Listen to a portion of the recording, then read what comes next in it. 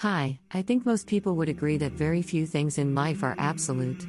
When you're at the car dealership, for example, and the car salesman says, This is my absolute lowest price, it's safe to say there is still a little bit of wiggle room there. Or if you ask your friend what their favorite food is, and they say, It depends.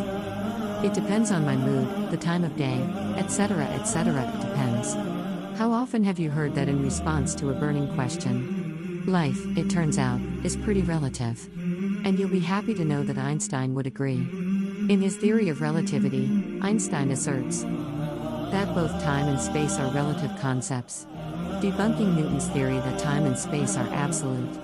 The only absolute constant in Einstein's special relativity is the speed of light. Its value will always measure the same for any observer in uniform motion. It will always be about 300 plus 000 km per second in a vacuum. And never faster.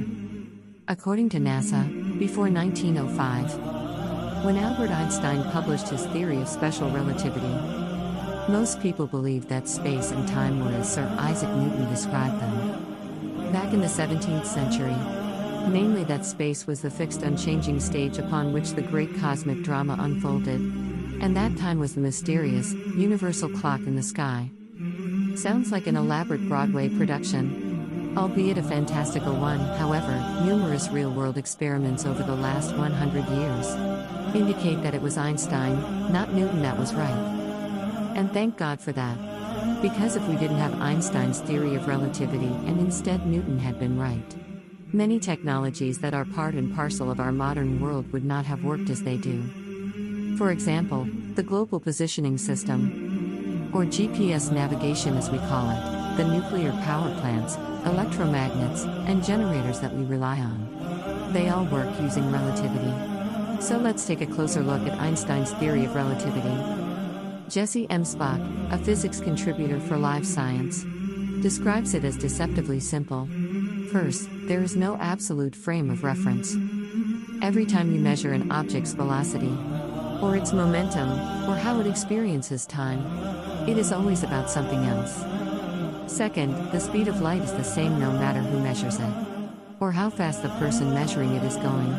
And third, nothing, and I mean nothing, can go faster than light. The implications of Einstein's famous theory are profound. If the speed of light is always the same, it means that an astronaut going very fast relative to the Earth We'll measure the seconds ticking by slower than an Earthbound observer will. Time essentially slows down for the astronaut.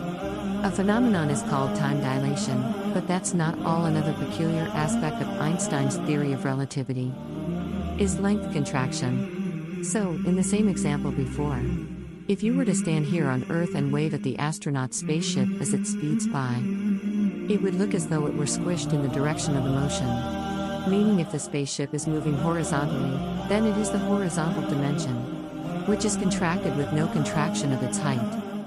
If the spaceship were moving slowly, the level of contraction or squishiness that you would observe would not be noticeably significant. But, if it were moving at relativistic speeds, speeds are a significant fraction of the speed of light. As spaceships tend to do, the length contraction would be significant and observable to you. This phenomenon is not due to errors in measurement or faulty observations. The object is contracted in length. As seen from the stationary reference frame, u. The amount of contraction of the object is dependent upon the object's speed relative to the observer. So, in short, the faster the spaceship is moving, the more contracted it will appear to you. Yeah, I know, two words, mind blowing. Professor James Kolata in his book Elementary Cosmology From Aristotle's Universe to the Big Bang and Beyond, published in 2015, explains that neither time nor space is absolute quantities by asking us to imagine a meter stick lying on the floor of a room. With one end against a wall, bright lights are shining from the ceiling and the other wall. Now, let us rotate the meter stick while looking at its shadows on the wall and the floor. At first, the shadow on the floor is almost equal to 1 meter in length.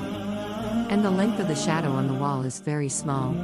As we rotate the stick toward the vertical, the shadow on the floor becomes shorter and that on the wall becomes longer. When the stick is vertical, the shadow on the wall is 1 meter in length. It turns out that something similar happens in the case of special relativity. As the speed of an object increases, its length in the direction of motion becomes shorter, while time intervals become longer. Interestingly, the professor considers this particular example to demonstrate the conclusions and consequences of the theory of special relativity. It is especially interesting because the Quran used this same analogy in its verses. In chapter 25, verses 45 and 46, it says, Have you not considered your Lord how he extended the shadow, and if he willed, he could have made it stationary? Then we, God, made the sun its guide. Then we, God, reduced it, little by little. The scientific explanation for this verse is as follows Have you not considered your Lord how he extended the shadow? And if he wished, he could have made it stationary, as in following Newton's theory model of absolute rest frame. Then we, God, made the sun its guide since the speed of light of the sun is the only absolute constant. Then we, God, reduced it. Which refers to length contraction, little by little, which refers to time dilation. In this one verse, the Quran addresses the various aspects of what we now call the theory of special relativity length contraction, time dilation, and the speed of light as being the only constant. Additionally, the Quran warns us that God could transform our lives from Einstein's physics to Newtonian physics. If he wished. And this is possible because God did not just discover the theories of physics, He created them. So the next time you reply to someone with it depends, and they get mad at you for not giving them a definite answer. Remind them of Einstein's most famous theory of special relativity. And they might just forgive you for it.